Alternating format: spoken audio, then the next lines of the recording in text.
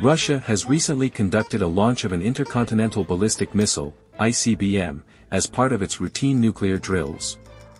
This exercise is a demonstration of the country's strategic nuclear capabilities and is intended to ensure the readiness and reliability of its nuclear forces. Such drills typically involve the testing of various components of Russia's nuclear triad, which includes land-based ICBMs, submarine-launched ballistic missiles, and strategic bombers.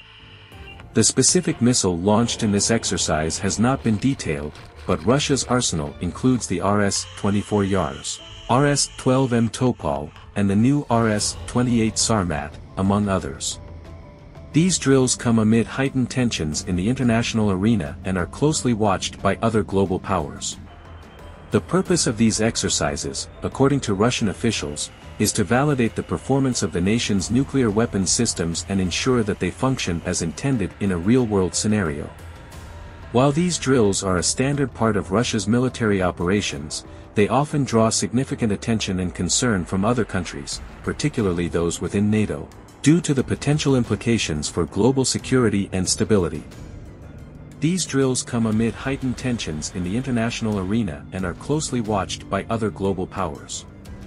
The purpose of these exercises, according to Russian officials, is to validate the performance of the nation's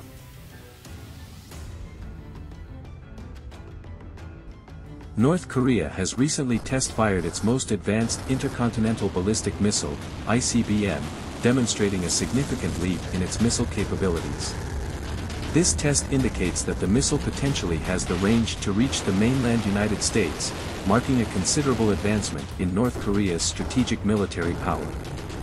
The missile, believed to be the Hwasong-17, represents North Korea's latest technology in its ongoing efforts to develop long-range nuclear delivery